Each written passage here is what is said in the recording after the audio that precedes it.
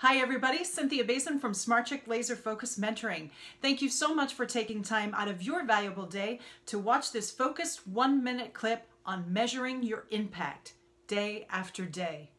This is a good idea, right? You may be initially saying, this sounds exhausting but it actually is going to help you eliminate the distractions and keep you focused and get the results that you want on your goals. So what I want you to think about is you actually having an impact meter, M-E-T-E-R, okay? One that goes like this or think of it like this and that it rises every time you stay focused on doing something kind, doing something productive, something that uplifts somebody.